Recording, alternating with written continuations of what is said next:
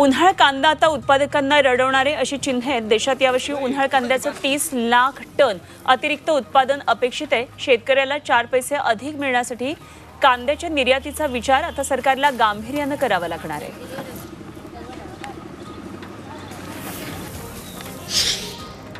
मातीचा कस कमी करणाऱ्या युरिया या रासायनिक खताला पर्याय ठरेल असा नॅनो युरिया प्रकल्पाची पायाभरणी मुंबईमध्ये करण्यात आली आहे.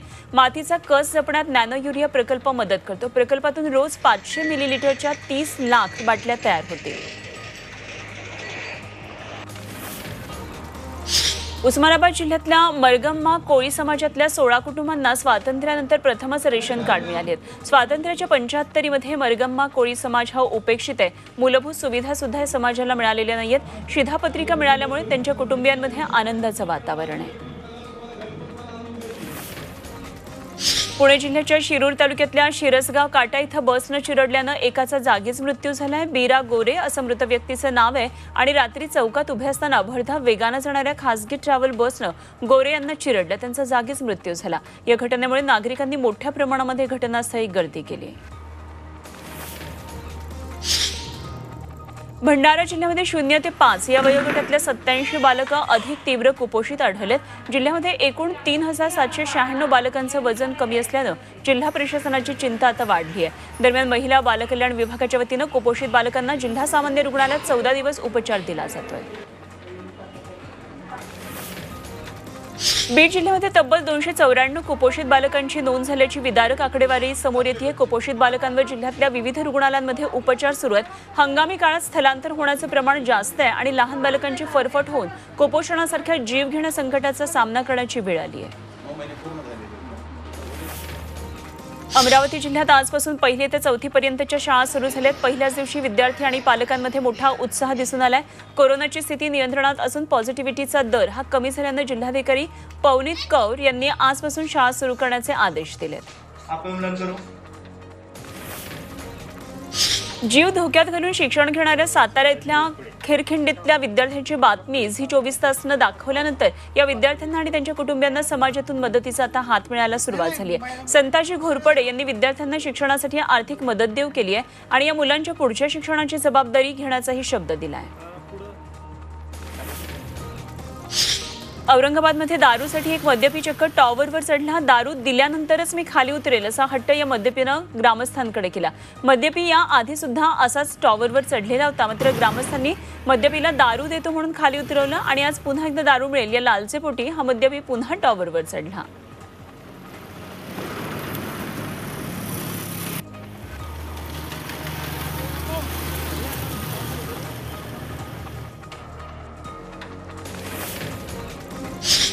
नाशिकच्या सटाण्यामध्ये अंबासन गावाजवळ रस्त्यांची चाळण झाली आहे. खड्ड्यांमुळे वाहन चालकांना त्रासाला सामोरं जावं लागतंय. काही तरुणांनी मग स्वखर्चातूनच आता स्वतःच खड्ड्यामध्ये माती टाकून हे खड्डे बुजवलेत. सार्वजनिक बांधकाम विभागाकडून खड्डा बुजवण्याची मागणी वारंवार करूनही दुर्लक्ष केलं जाते आणि त्यामुळे तरुणांनी आता स्वखर्चातून खड्डा बुजवण्यासाठी पुढाकार घेतलाय.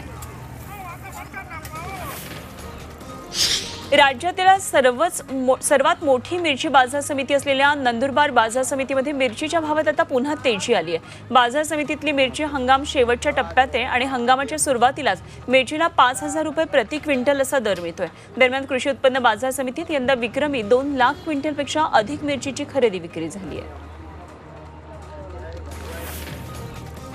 पुण्याच्या कान्हेवाडीतील जिल्हा परिषद प्राथमिक शाळेतल्या विद्यार्थ्यांसाठी स्ट्रॉबेरी हे महत्वाचं महोत्सवाचं आयोजन करण्यात आलं होतं. सह्याद्री प्रतिष्ठान आणि अस्तित्व कला मंचानं पुढाकार घेतला. या महोत्सवामध्ये गावच्या मुख्य तसंच वाडी वस्तीतील शाळेचे शेकडो विद्यार्थी सहभागी झाले. स्ट्रॉबेरीच्या ढिगातल्या स्वतःच्या हातानं हवे तेवढी फळं घेऊन खाण्याचं स्वातंत्र्य या मुलांना यावेळी देण्यात आलं होतं. अमरावतीला शेळी क्लस्टरचा पहिला मान मिळाला. पोहरा इथं शेळी क्लस्टर योजना राबवली जाते. शेळी पालन प्रशिक्षणापासून ते शेळीचं दूध मांसाच्या विक्रीपर्यंत अनेक पदार्थ एकाच छताखाली तयार केले जाणार आहेत अशी ही शेळी क्लस्टर योजना आहे. पोहरा इथल्या पन्नास एकर जागेवर उभे राहणाऱ्या अशा प्रकारचं हे पहिलंच क्लस्टर असेल. एकीकडे राज्यात गरमी वाढत असताना नाशिक जिल्ह्यातल्या निफाडमध्ये थंडीचं वातावरण अजूनही तसंच आहे. निफाडचं सध्याचं तापमान सहा पूर्णांक पाच अंश सेल्सिअस इतकं नोंदवलं आहे बर्ड फ्लूमुळे शहापूर आणि वसई विरारमध्ये तीन दिवसात एकतीस हजार कोंबड्या शास्त्रोक्त पद्धतीनं नष्ट करण्यात आल्या. अनाळ्यातही शुक्रवार आणि शनिवारी पाच विशेष पथकांनी सर्च ऑपरेशनद्वारे सात हजार कोंबड्या मारल्या. दोन पोल्ट्री फार्म व्यावसायिकांच्या जागेत आणि पुरापाडा इथल्या डम्पिंग ग्राउंडच्या जागेमध्ये जेसीबीच्या साह्यानं खड्डा करून कोंबड्या पुरण्यात आल्या. सिंबोरा हेडवर्क पाईपलाईन दुरुस्ती तपोवन इथल्या एमबीआर दुरुस्ती तसंच नेर पिंपळगाई इथल्या बीपीटी क्रॉस कनेक्शनचं काम केलं जाणार असल्यामुळे चोवीस आणि पंचवीस फेब्रुवारी या दोन दिवशी अमरावती बडनेरा या भागामध्ये पाणी पुरवठा बंद असणार आहे. तरी नागरिकांनी पाणी जपून वापरावं असं आवाहन प्रशासनानं केलं आहे सरकारमध्ये विलिनीकरणाच्या मागणीसाठी गेल्या तीन महिन्यांपासून अधिक काळ सुरू असलेल्या एस टी कर्मचाऱ्यांच्या संपामुळे महामंडळ आर्थिक तोट्यात गेलंय. संप काळामध्ये एसटीचे सोळाशे कोटीचे प्रवासी उत्पन्न बुडालंय आणि एस टी बंद असल्यामुळे प्रवाशांसह विद्यार्थ्यांचे देखील अतोनात हाल झालेत. तीन महिने झाले तरी संपावर अजूनही तोडगा काढण्यात एस टी महामंडळाला यश आलेलं नाहीये. आणि याबाबत उद्या आता हायकोर्टात सुनावणी होणार आहे. या सुनावणीमध्ये काय होतं याकडे सर्वांचं लक्ष आहे. मार्केट यार्डमधल्या पंधरा आडत्यांना दफ्तर तपासणीच्या नोटिसा देण्यात आल्यात. पुणे कृषी उत्पन्न बाजार समितीमध्ये फळ बाजारातल्या पंधरा आडत्यांना दफ्तर तपासणीच्या नोटिसा पाठवल्यात. आडत्यांकडे गेल्या पाच वर्षांचा रेकॉर्ड मागवण्यात आल्यात. गैरव्यवहार हिशोबामध्ये अफरातफर आढळली तर आडत्यांवर कारवाईचा इशारा देण्यात आला आहे पुढे एक महत्वाची बातमी येते आणि ही बातमी आहे नवी मुंबईमधून एक महत्वाची बातमी नवी मुंबई कृषी उत्पन्न बाजार समितीमध्ये. माथाडी कामगारांचा बंद आहे. कांदा बटाटा मार्केटमधले व्यवहार बंद ठेवण्यात आले प्रशासकीय इमारती बाहेर माथाडी कामगारांनी घेराव घातलाय. पन्नास किलो वजनाच्या गोणी उचलण्यावरून हा सगळा वाद सुरू झालेला आहे. नवी मुंबई बाजार समितीमधून ही महत्वाची बातमी येते माथाडी कामगारांनी हा बंद पुकारलेला आहे. आणि त्यामुळे निश्चितच व्यापाऱ्यांचं शेतकऱ्यांचं मोठं नुकसान होत आहे. कांदा बटाटा मार्केटमधले व्यवहार बंद आहेत. प्रशासकीय इमारतीच्या बाहेर माथाडी कामगारांचा कामगारांनी घेराव घेतलेला आहे. पन्नास किलो वजनाच्या गोणी उचलण्यावरून हा सगळा वाद सुरू आहे. पन्नास किलोच्या वर वजन असलेल्या गोण्या उचलण्यासाठी या कामगारांनी मजुरांनी नकार दिलेला आहे. त्यामुळे अनेक टन माल तसाच मार्केटच्या बाहेर पडू नये.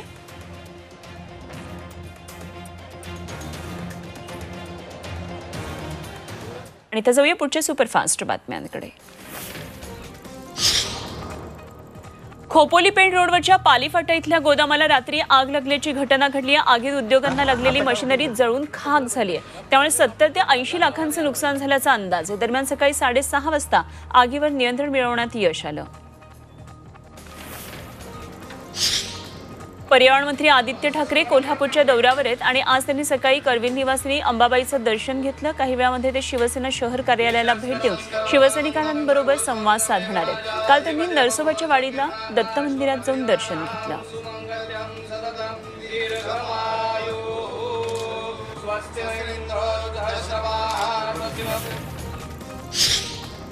विरोधी पक्षनेते देवेंद्र फडणवीस सध्या दोन दिवसांच्या नाशिक दौऱ्यावर आहेत विविध विकास कामांचं उद्घाटन त्यांच्या हस्ते होणार आहे. महिला बचत गट शेतकरी उत्पादक कंपनी विविध योजनांच्या लाभार्थ्यांचा मेळावा. या कार्यक्रमांना ते लासूरमध्ये उपस्थित राहणार आहेत आणि दुपारी ते कार्यकर्त्यांच्या मेळाव्याला संबोधित करणार आहेत.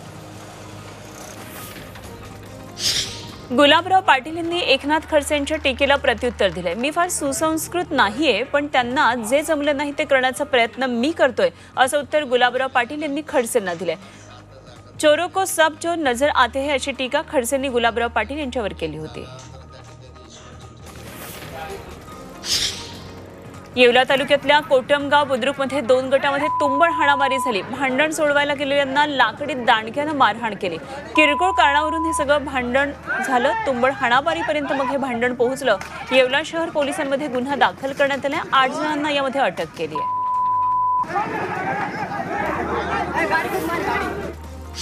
खोपोली शहरात अमरधामजवळ रात्री झालेल्या अपघातात एक जण ठार झाल्या मोटरसायकलवरचं नियंत्रण सुटलं. तो गाडीसह गटारामध्ये कोसळला आणि खोपोली पालिका रुग्णालयात उपचारादरम्यान त्याचा मृत्यू झाला. सिद्धार्थ दळवी असं या तरुणाचं नाव आहे. तो पेंडचा रहिवासी होता.